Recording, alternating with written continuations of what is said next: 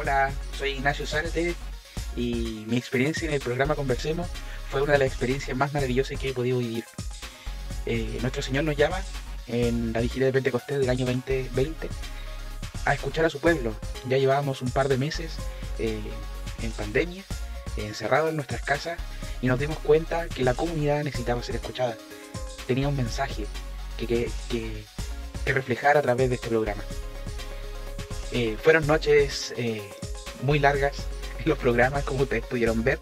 Eh, fueron reuniones también con los dos equipos que tuvimos a lo largo de estos dos años.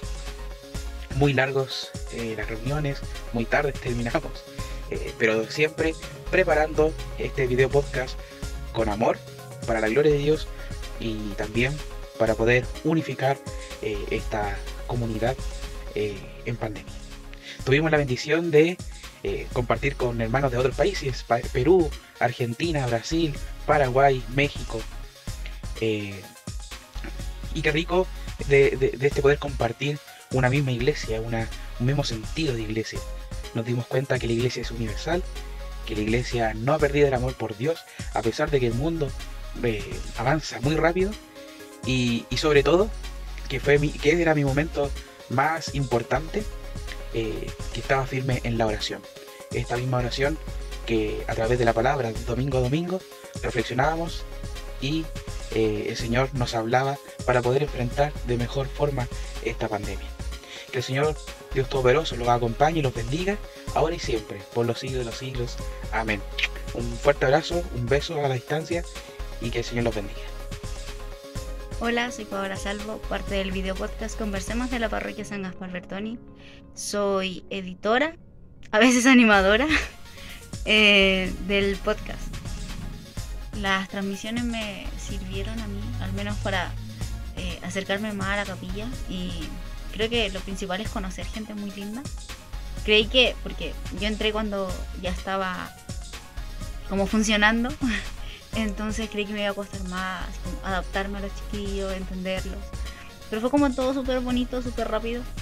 Y creo que más allá de la instancia que se generó con la comunidad, como para compartir con la comunidad, me gustaba mucho compartir con ellos. Como tener un día en el que yo sabía que lo iba a ver y que podía olvidarme de la semana. Y era tanto reírme como reflexionar, era como un poco de todo.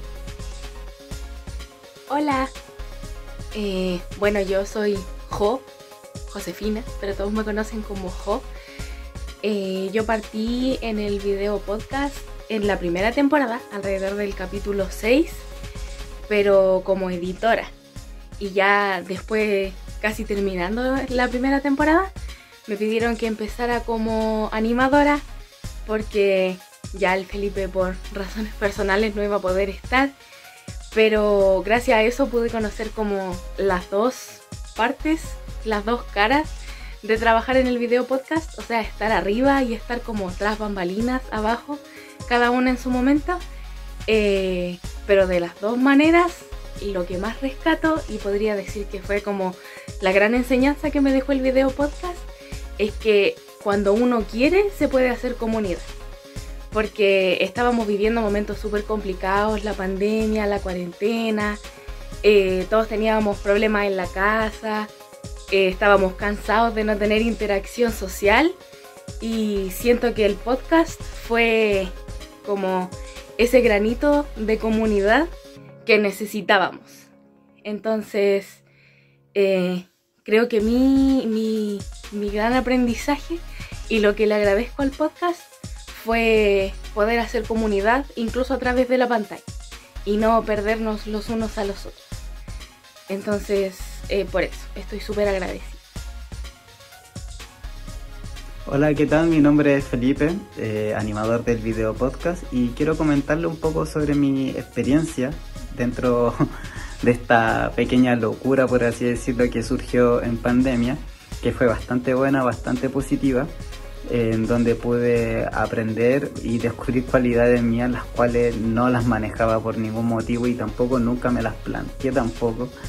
Y también el poder conocer más de fondo a la comunidad, un poquito más personal, a pesar de que había una distancia física, pero se sentía eh, dentro de la participación de, la, de las personas el poder interactuar como que si estuviésemos en persona y eso es bastante enriquecedor y también con los mismos jóvenes, con, con los chiquillos que quienes nos vemos siempre el fin de semana, eh, compartimos y poder compartir de esta forma creo que resultó bastante bien. Eso por mi experiencia eh, fue bastante positiva. Cuídense, nos vemos, chao chao.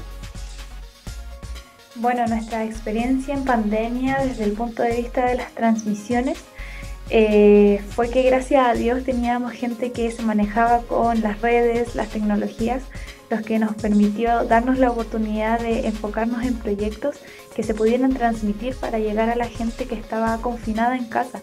Partimos con Pentecostés, lo cual resultó muy lindo y la gente nos quería seguir viendo en vivo, conversando, haciendo actividades, etc.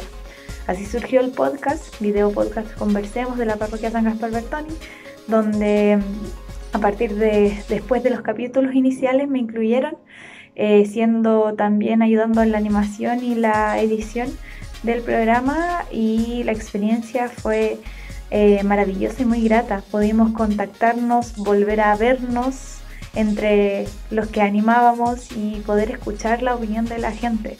Ellos nos escribían, participaban con nosotros y solicitábamos videos, eh, dando una opinión, haciendo un juego, bailando. Y a pesar de estar lejos podíamos sentirnos más cerca y sentirnos partícipes de un solo tema o de un solo objetivo. Eh, eso, considero que fue genial.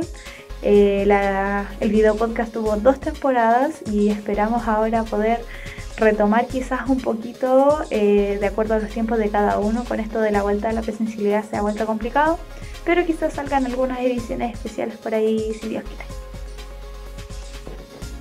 Hola, Pancho Perilla por acá, eh, animador, conductor, voz en off, eh, DJ, da lo mismo eso.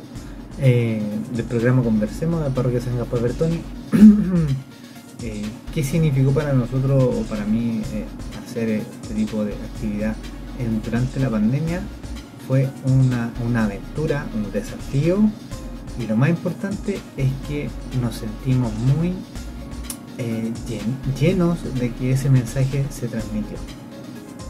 Y eso nos dimos cuenta porque nos veían en vivo y posterior a cada programa siempre seguían viendo y seguían llegando mensajes, no era solo en el momento.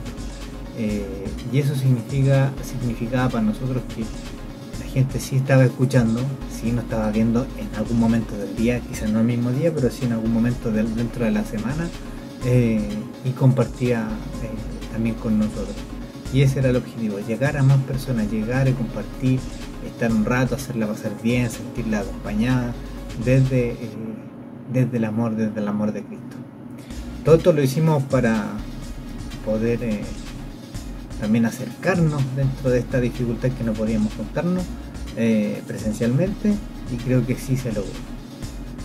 Soy de pocas palabras, los chiquillos hablan más bonito, así que no les diré nada más, no les daré más la lata. Eh, por ahí la Nati está haciendo una alerta spoiler, que se vienen cosas, por ahí vendrán cositas por ahí especiales. Así que agradecerle a todas las parroquias, a todos quienes pudieron eh, ser nuestros cómplices de poder compartir también el link cuando nos lo mandaba ahí al, grupo. Y nada, pues puro agradecimiento para todos y si necesitan ayuda en algo, y como lo dijimos en varios programas, estamos para seguir ayudando y seguir compartiendo en todos los medios posibles este amor y esta compañía del Señor. Cuídense mucho, un abrazo y nos vemos por ahí. Chau.